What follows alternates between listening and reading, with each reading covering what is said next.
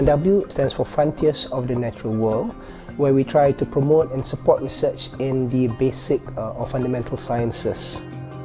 The hope is that people from different disciplines could come together and do meaningful and impactful research both for the nation, for society and for the world.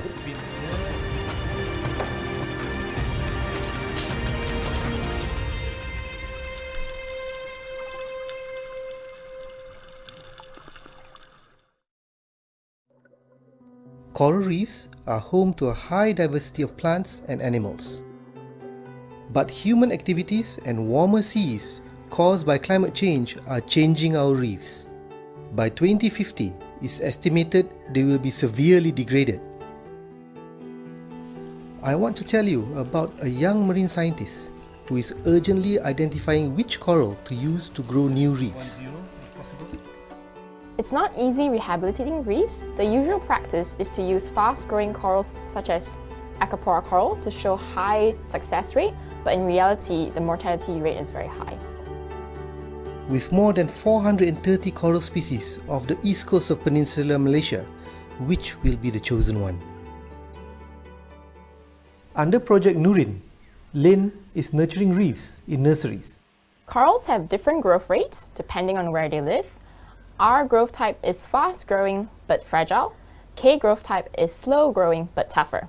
So, which one do we use for rehabilitation? To find the answer, Lin first needs a suitable study site. Narrowing it down to islands in marine protected areas, close to pristine reefs, with minimum human activities, but has local scuba dive and logistical support.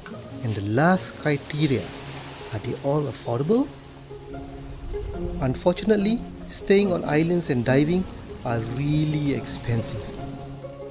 Out of the blue, Lin gets a call from a dive center in Pulau Rawa.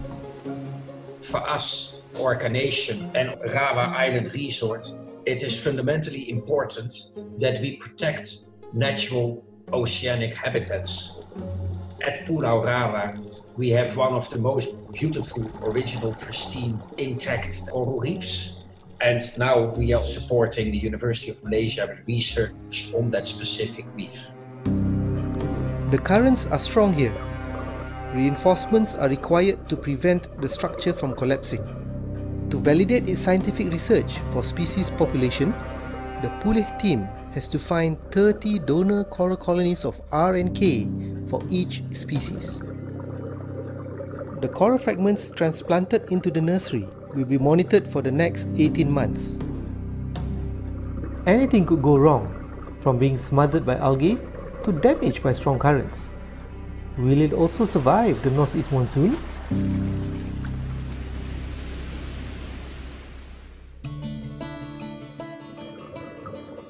I'm very happy to see that all the fragments on my nursery are faring well from my observations, I could clearly see that the R fragments have grown much more compared to the K fragments, and the K fragments are more resilient compared to the R fragments, as in they have a lower mortality rate.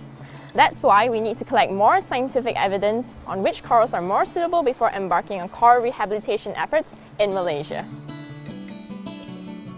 Until that day happens, Lin will continue nurturing reefs in nurseries, believing it's key to the survival of our coral reefs.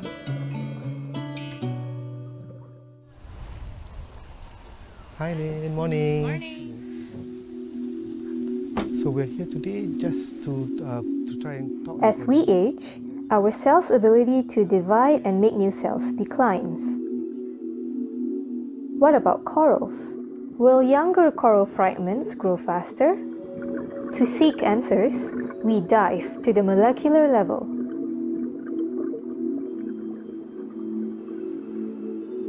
Project Shima investigates which coral branch should be selected within a colony.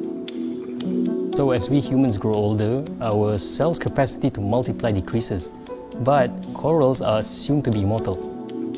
It is thought that their healing capabilities remain the same as they grow, but studies have shown that this is not the case. Age seems to matter in corals too. If coral age matters in the context of coral restoration, how do we tell the age of a coral? In humans, it is easy to tell age. But in corals, it is not that clear. A coral colony is made up of thousands of individual animals known as polyps. Within a single colony, there are older and younger polyps. In a branching coral, young and old polyps are distributed in different branches. We can use the coral's genetic material, which is its DNA and RNA, to determine the age of polyps at the molecular level. Then, we relate that to the coral's growth rate in the nursery. In Project Shima, we want to know, do upper or lower branches grow faster when transplanted in a nursery? We must first identify lower and upper branches to sample in a colony.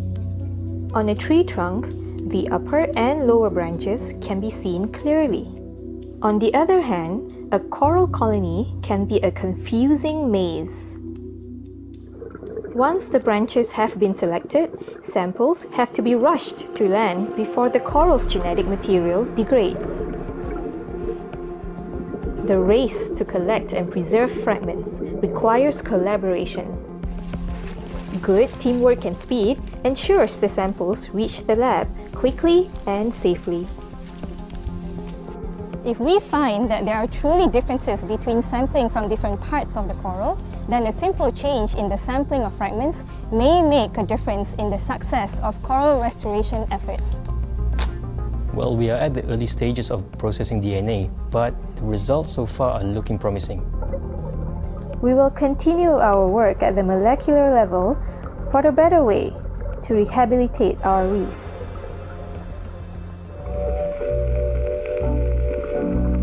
Dugongs, dolphins and turtles. These are just a few of the star attractions on the marine scientist's bucket list. But Mok Manying is the exception. Sea urchin, even though they look ugly and dangerous, but it could be really important for the coral reef. So I want to study them. Manying will attempt to track the sea urchins for 24 hours. It will be the first study of its kind in Malaysia. Can she be the urchin stalker?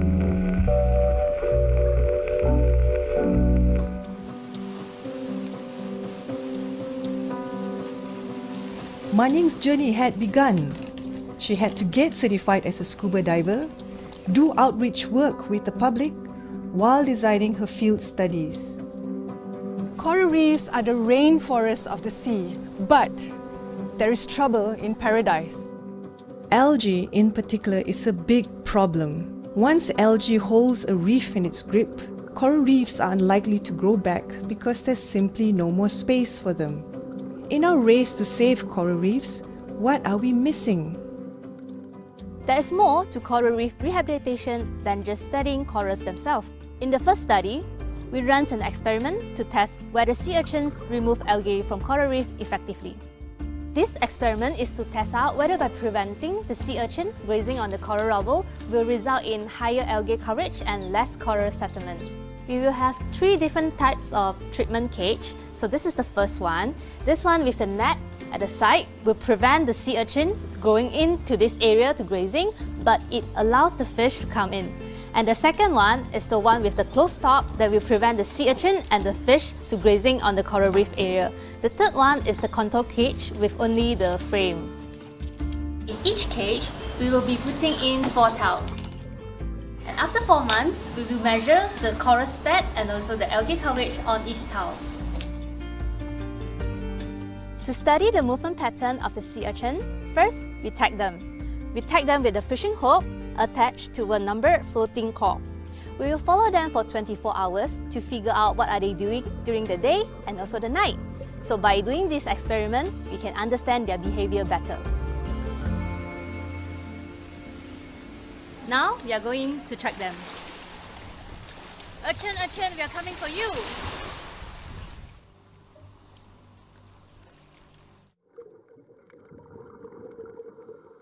We found most of the sea urchin.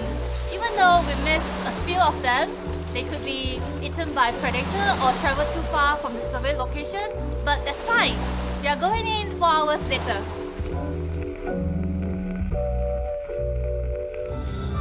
With Project Pulih, coral reefs now have a fighting chance for survival. Choosing the right coral, determining its age, and understanding the role of sea urchins takes time and funding. Malaysia's coral reefs are everyone's responsibility.